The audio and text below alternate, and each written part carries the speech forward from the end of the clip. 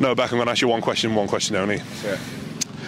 Would you quit TikTok forever to be a Premier League player? 100%. 100%. 100%? 100%. Without a shadow of a doubt? There's, uh, uh, there'd be some doubts, but I don't know. If I, yeah, no, I would. You would, yeah. Yeah.